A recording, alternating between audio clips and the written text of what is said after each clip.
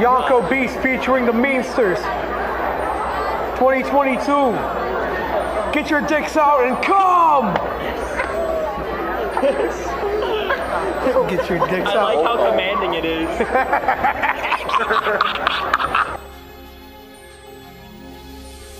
Just jacked off the Star Fox porn on Rule 34. Ran up on Caitlyn Jenner and I called her a whore. I'm like, Daffy leaving my penis in your car door. Just recorded porn of Donald J. Trump.